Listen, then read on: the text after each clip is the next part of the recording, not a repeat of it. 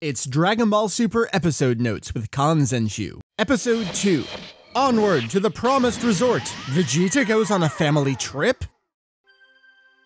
The first episode of Dragon Ball Super began with a recap of the big battle with Majin Buu. The music that played in the background was a new composition, but it was an arrangement of Cha La Head Cha La, the first opening theme to Dragon Ball Z.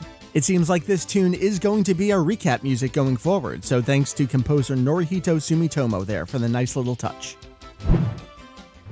Gregory is present during this episode alongside Kaio and Bubbles here. Gregory was not present in the manga, however, he actually was developed and designed by Akira Toriyama. During the production of the Dragon Ball Z TV series, Toei staff came to Toriyama and said, hey, we need another character, and this is who he came up with. Of course, this then leads into the big question Is Super a canon? Cause Gregory is here.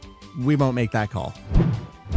If you know Kaio at all, he is always making puns. The joke here, Heiwa ga Heiwa. His jokes are set in this kind of structure where it's X is X, and the words are homophones, words that sound alike. The joke here, because we're in a time of peace, it comes out to something like, hooray, peace.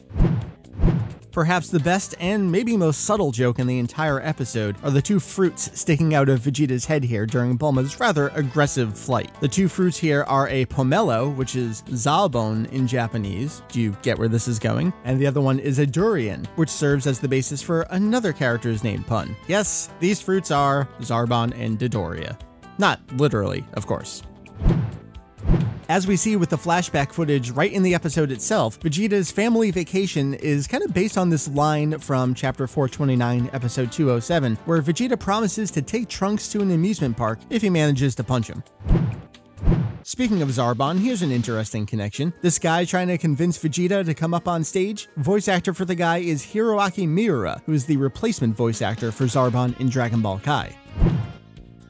When discussing the winged dinosaur's meat, Whis notes that it has a good reputation in Universe 7. This is actually the first mention in the entire series, if you're going chronologically and possibly taking things out of context, in context. How are things going to play out here? Uh, it's the first reference to the 12 universes that exist in the larger Dragon World. You may remember at the very end of Battle of Gods is when Beerus gives us the big reveal that there are actually 12 universes out there, and everything that we have seen happen takes place in Universe 7. As we've learned from Toriyama since then, and as hinted to in the opening theme to the series, we will indeed be heading off to Universe 6 to fight our neighbors, apparently later on. There you go, those are some of the things we noticed in episode 2 of Dragon Ball Super. We hope you're enjoying these videos. Be sure to also check out our episode notes video for the opening to Dragon Ball Super, Chozetsu Dynamic. Enjoy, and we'll see you next time.